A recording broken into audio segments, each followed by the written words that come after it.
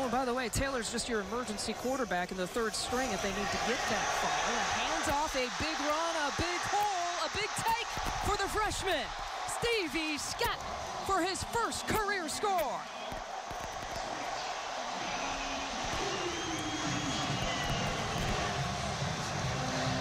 The right side of the line just clear out. Hunter Littlejohn takes on Malcolm Cook, and nobody even touches Stevie Scott.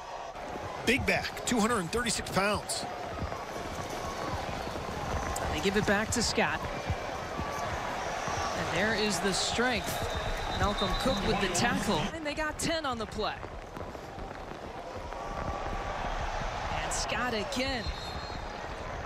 Joey Blunt one more time making the play. That were very consistent, winning a lot of games. Stevie Scott. Handoff to the freshman, Scott. It's a big gainer. Scott across the 50, across the 40. And how about that to start the second half? Here, right here, they're going to play off 17. Malcolm Cook unable to see which man he had, and all of a sudden Stevie Scott more time to Scott. Nice game on that year in high school. Only played three games that year. One more time to Scott. And a first down here for Indiana. Let's check in with Michelle. TD. Now second and 10. And give it back to Scott. Peyton's attitude never wavered from one of healthy competition. He thinks his most underrated part of his game is his accuracy, guys. It's up. A second and 18. Here is Scott, who can take some contact really well. Stevie Scott again. They do. Scott has been the featured back for Indiana, still on his feet. He's picked himself up a first down. How he waits for his blockers. Watch Hunter Littlejohn, 68. Able to make a hole for him. Legs move. This guy's a future star. A gain of 14. They go right back to 21. Why not? No huddle offense, up-tempo offense. A gain of four here for Indiana.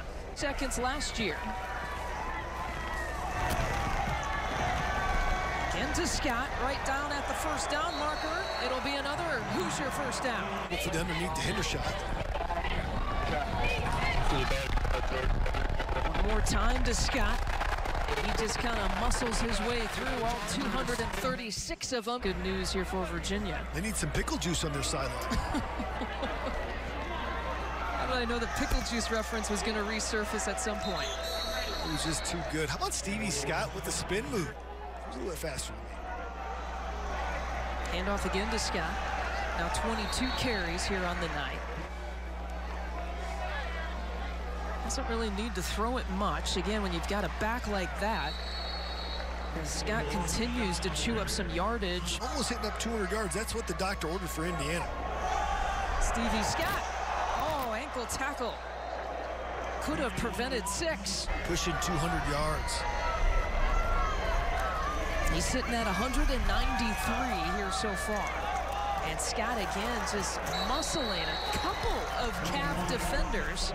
Stevie Scott. That carry puts him over 200. This one, he just keeps adding to it. Blunt on the tackle.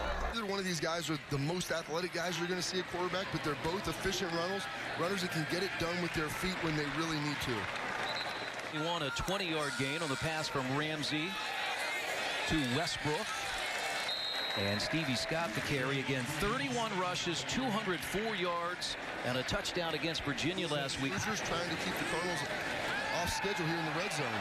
He throws it out to Scott out of the backfield inside the 15 down to about the 12 about a yard short of a first down. Bobby, the last time in a short yardage situation like this, we saw them throw the ball. Do they give it to Stevie Scott? I'm giving it right there. And they do. And Scott into the end zone for a touchdown, six points for Indiana, and the Hoosiers lead it 9 to 3. 236 and a veteran offensive line that can come downhill, getting their blocks, not touched until he's a yard. He's a quarterback's best friend. Stevie Scott in the backfield has an opening. Out to the 46-yard line. You mentioned Mike Hart, same hometown, All-American out of Michigan.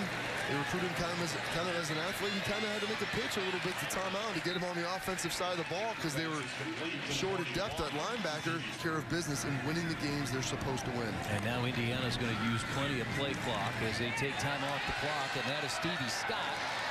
He's down to the 10-yard line and 103 today against Ball State.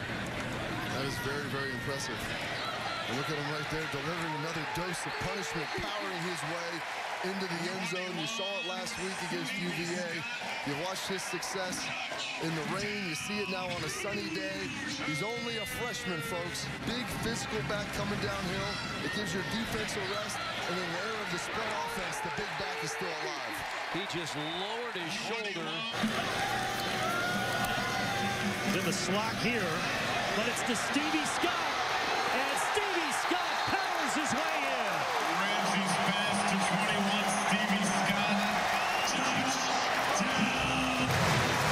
Can see the blitz coming, and he puts the touch pass right over there to Stevie Scott.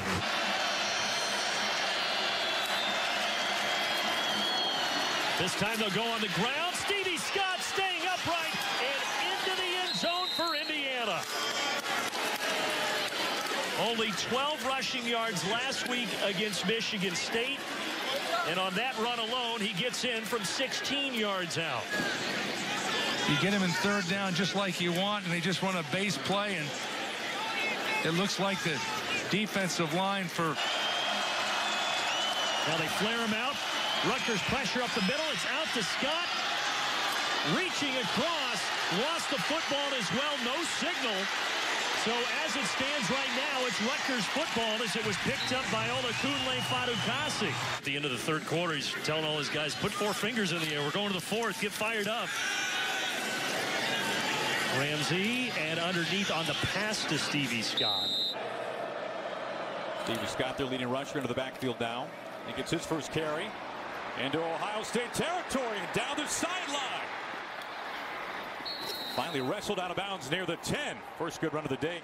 And, and, really, it's been the play of the safeties that's been struggling for this Ohio State defense this year. Isaiah Pryor has to miss the first half of this game due to an illegal hit for targeting last week. And you see Jahsen Wint.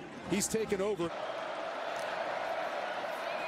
You sling it out that way, and Scott's got it up for the first down and some extra yards on top of that. Play action. Another dump off. Same play to Scott. And he'll get out about a yard shy. Let's see where they spot him. Third and short coming up. I don't know if he's going to get back on pace with his touchdown catches from last year, but heck, throw that out the window. He's yeah. up to 15 now, so it looks a lot better. 9 to 4 ratio to 15 to 4 ratio. I like that.